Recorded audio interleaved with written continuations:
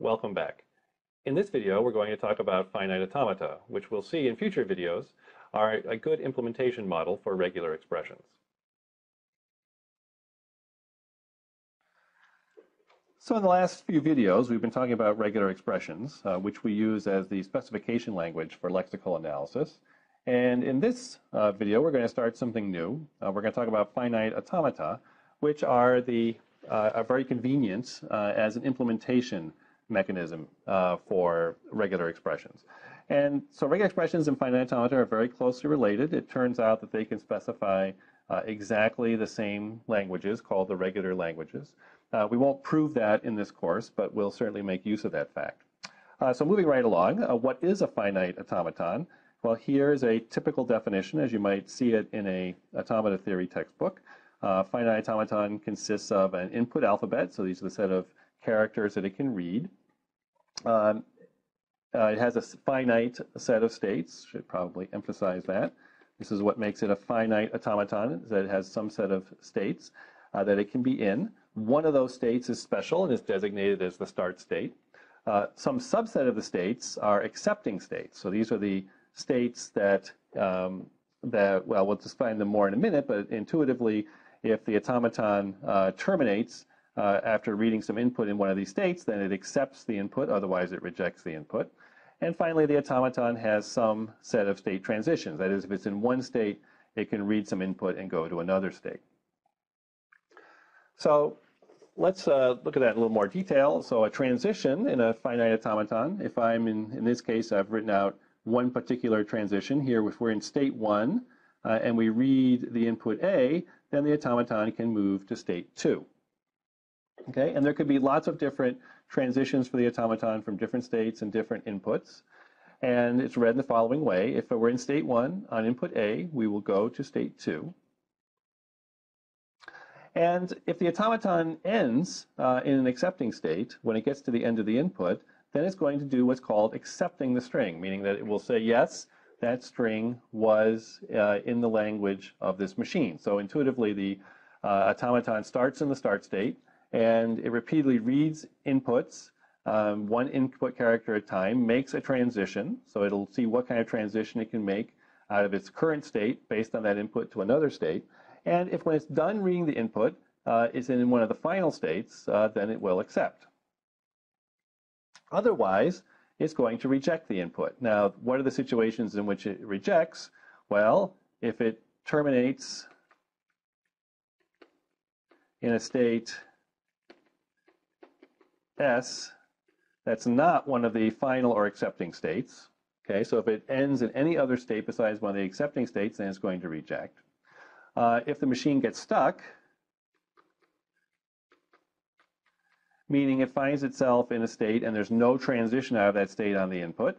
So in particular, let's say that it's in some state S and there's and the input is A and there's no transition.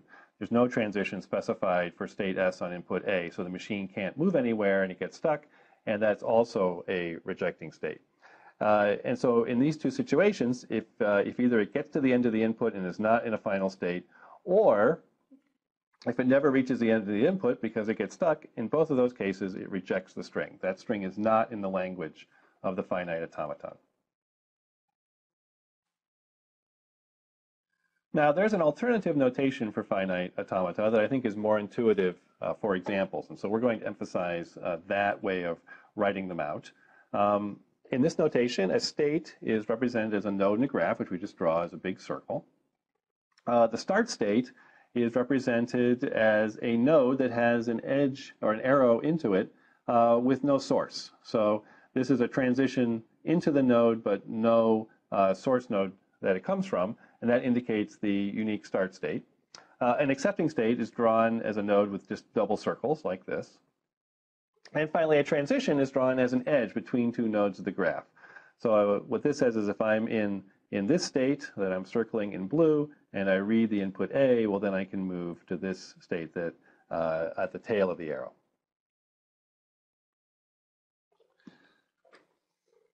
So now let's do a simple example. Let's try to write out the automaton that accepts only the single digit 1. So we'll need a start state. And we'll probably want an accepting state as well. And now the question is, uh, what do we put in between the two? Well, there'll be some kind of a transition here, and it's a good guess that we should take that transition if the machine reads a 1. And now let me take a moment here to talk about how uh, the machines execute. So let's label these states. Let's call this state uh, A, and let's call this state B. Okay. So uh, the machine will have some input, Okay, and uh, we can write that input out over here. So let's just say we have the single character one, and it begins in some state, namely the start state. And so one configuration of the machine is the state it is in and the input. And typically we would indicate where it is in the input by a, just a pointer saying what position it is in the input. And uh, the important thing to know about uh, input in uh, for finite automata is that the input pointer always advances. So when we, or it only advances. So when we read a character of input, the input pointer moves to the right and it never moves back. All right, so from state A, uh, we have a rule. We can see that we're in state A. Uh, the next input character is a 1, and that allows us to take a transition to state B. And so now um, we're be in state B, and where's our input pointer? Well, it's beyond the end of the input, indicating we are at the end of the input. And so now this is uh, we are in an accepting state and we're past the end of the input and so we accept. Okay, so let's uh, do another execution. So we start in state A and uh, let's take as our input uh, the string 0. Okay, and I'd like to draw the pointer actually, I should have drawn it before the input. So we'll always put the pointer uh, between two input elements. In this case, and it's immediately to the left of the one we're about to read. So in this case, we're about to read 0. So we're in state A. Our input is 0. We look at our machine. Uh, we see that there is no transition on 0. All right, and so the uh, machine stays stuck. It doesn't make any move at all. And this is our uh, final configuration. And we can see that we're not at the end of the input, and, and, and so this is a reject. Okay, so in this case, the machine rejects that string as not being in the language of the machine. Uh, let's do one more example. Uh, let's say that we're in state, uh, well, we're always beginning in state A, in the start state. And let's say our input this time is the string 1, 0. Okay, and our input pointer is there. All right. So uh, again, we're in state A. The input is a 1, and so we'll move to state B. And now the input doesn't change, just the input pointer changes, but I'll just copy the input over to show um, the difference. So now the input pointer has advanced because we've read uh, one character of input, and now we're in another state. And now we can see uh, that we're in state B. Um, our next input is zero, and there is no transition uh, on zero from state B. And so even though we're in an accepting state, uh, B is a final state, is one of the accept states, uh, we haven't consumed the entire input. And so this, the machine also rejects this string. So this is also a reject. And in general, uh, we could talk about the language of a finite automata that is equal to um, the set of accepted strings.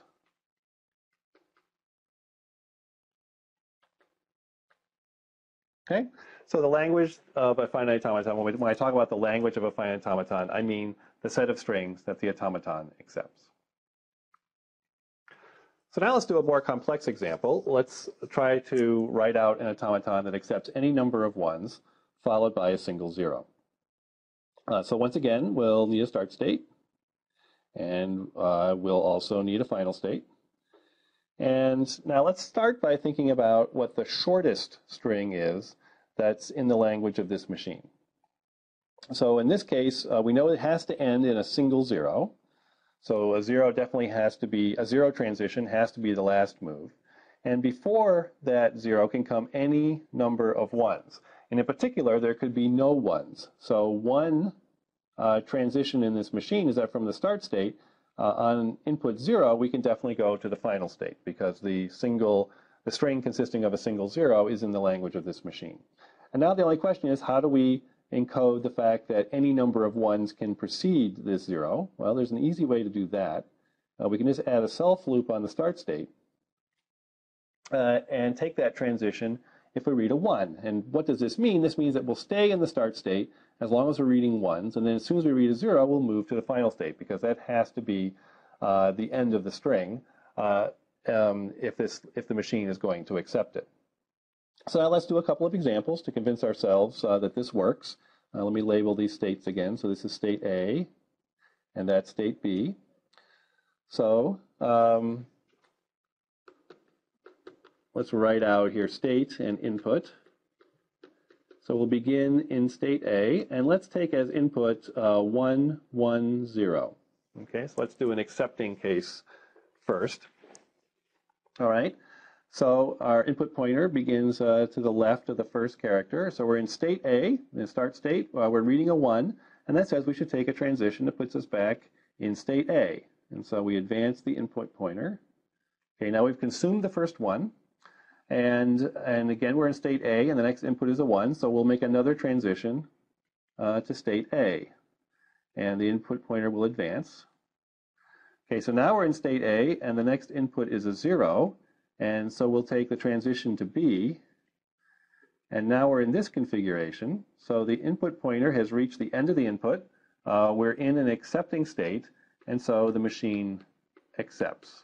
110 is in the language of this machine. So now let's uh, do an example where we will reject the input. And what configuration do we begin in? And again, a configuration for a finite automaton. Uh, that just means a, you know, a point in the execution, and it always consists of a state and a position uh, of the input pointer. So our initial state is A, and now let's just choose uh, the string, oh, I don't know, let's take 1, zero, zero. And let's confirm that this is not in the language of the machine. All right, so we begin in state A, and our uh, input pointer is there.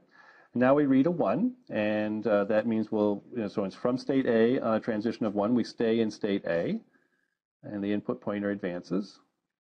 And now we see a 0, so from state A on input 0, we make a transition to state B. And now the input pointer is here, so now um, uh, we're in state B, and we have an input of 0, but there is no transition out of B on 0. There are no transitions out of B at all. And so the machine gets stuck. It can't get to the end of the input. And again, even though we're in an accepting state, we haven't uh, read the entire input yet. And so that means the machine will reject. And so 100 is not in the language of this machine. Up to this point, a finite automaton consumes a character of input every time it makes a move. So if it can make any move at all, the input pointer advances. Uh, now we're going to talk about a new kind of move, the epsilon move.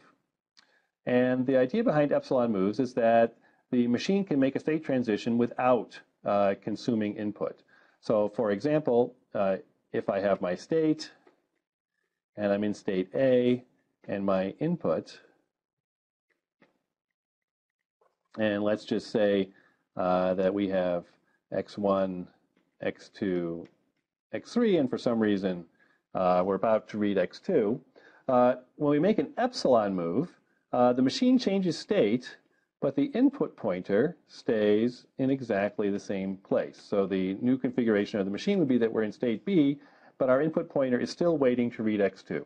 So you can think of an epsilon move as a kind of free move for the machine. Uh, it, can, it can move to a different state without consuming any input. And uh, just to be clear here, the machine does not have to make the epsilon move. It's a choice. So we can decide whether to make the epsilon move or not. Now, epsilon moves are the first time we've mentioned the possibility that a finite automaton might have a choice in what moves it makes. And there's actually an important distinction between automata that have choices and those that don't.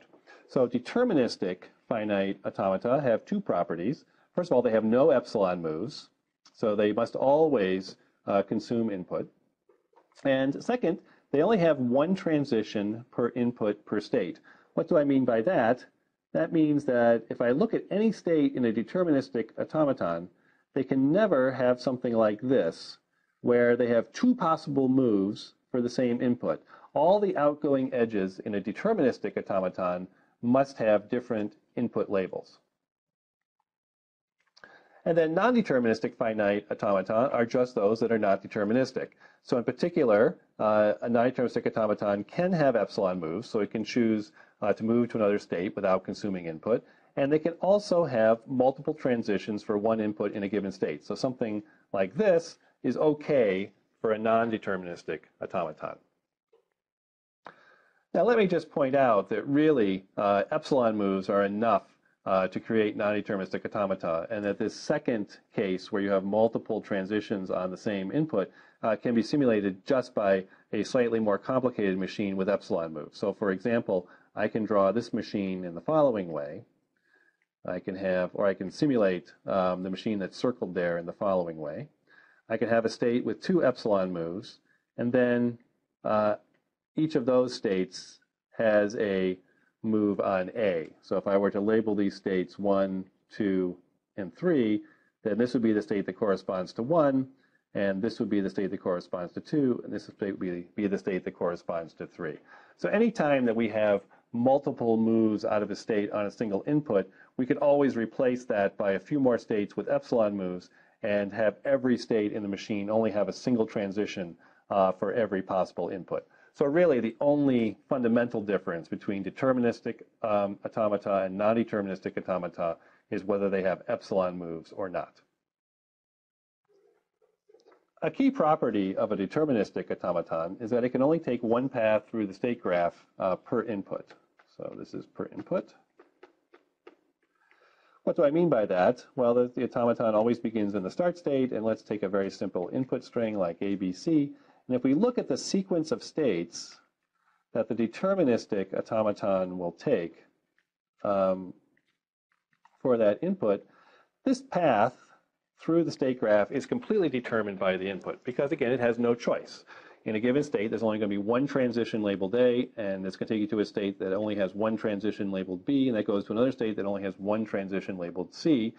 And so every input determines the path through the state graph that the automaton will take. And this is not true for non-deterministic automata.